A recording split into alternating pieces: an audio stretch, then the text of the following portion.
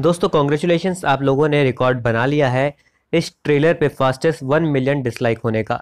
जी हाँ दोस्तों, हाल ही में आई अपडेट के अनुसार ये ट्रेलर लगभग एक मिलियन डिसलाइक हासिल करने ही वाला है और ये वीडियो बनाने तक दोस्तों इस ट्रेलर पे आ चुके हैं लगभग नौ लाख डिसलाइक वो भी पंद्रह लाख व्यूज़ पर। दोस्तों, वाकई में ये ट्रेलर रिकॉर्ड बना रहा है नेगेटिव का, जो कि है डिसलाइक्स का, और आज फैजू को इंसाफ मिल ही जाएगा। खैर ट्रेलर में नेपोटिज्म तो है ही, साथ ही महेश भट्ट भी है, और ट्रेलर वाकई में इतना खास है भी नहीं। ऐसे में दोस्तों, इस फ़िल्म को डिसलाइक तो बनता ही है, और अब जनता जागरूक भी हो चुकी है, और ख़राब फ़िल्मों को सपोर्ट बिल्कुल भी नहीं करने वाली है। लेकिन महेश भट्ट अभी भी रुकने का नाम नहीं ले रहे। उन्होंने पेड रिव्यू करने वाले और हैशटैग्स पूरे तरीके से ट्विटर पे चला रखे हैं।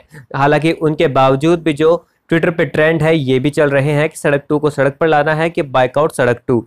ऐसे में दोस्तों बताया जा रहा है कि महेश भट्ट अब पूरे तरीके से परेशान हो चुके हैं। इसीलिए उन्होंने कल ट्रेलर रिलीज़ नहीं किया था। वो नहीं चाहते थे कि इतना हेट इस फ़िल्म को मिले। लेकिन ट्रेलर आज भी आया तो दोस्तों हेट लेकर ही आया और महेश भट्ट इससे नहीं बच पाए। यानी कि दोस्तों महेश भट्ट और आलिया भट्ट का करियर लगभग यहाँ पे समाप्त सा ही लगता है।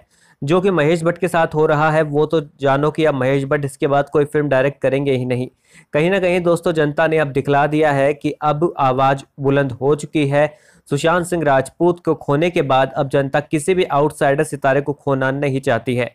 जी हाँ दोस्तों, गलती एक बार होती है, दूसरी बार होना उसे गुनाह पर ले जाता है। दोस्तों, अब ये जो सपोर्ट है, जो हमने इसका दिखाया है इस फ़िल्म को डिसलाइक करके जो पावर दिखाई है जनता की, ऐसी ही पावर हमें आउटसाइडर्स के प्रति दिखानी है। उनकी फ़िल्में देखकर, उनके ट्रेलर पर लाइक का रिकॉर्ड बनाना है। ऐसा नहीं है कि दिल बेचारा पर रिकॉर्ड बना दिया तो बाकी फ़िल्मों को छोड़ देंगे। विद्युत जामवाल जैसे एक्टर की फ़िल्में आनी बाकी है। तो दोस्तों, क्या आपने सड़क टू का डिसलाइक किया या नहीं? अगर किया है तो कमेंट में यस ज़रूर लिखें और दोस्तों सब्सक्राइब करें, देखो देखो, ताकि हम आपको और भी खबरें यहाँ पर दें सबसे पहले।